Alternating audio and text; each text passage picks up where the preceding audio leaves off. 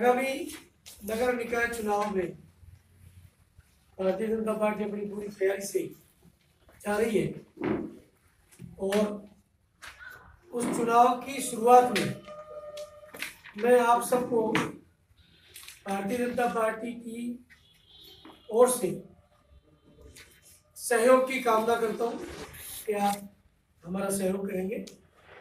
और सत्य बात जो भी है उसको उजागर करेंगे।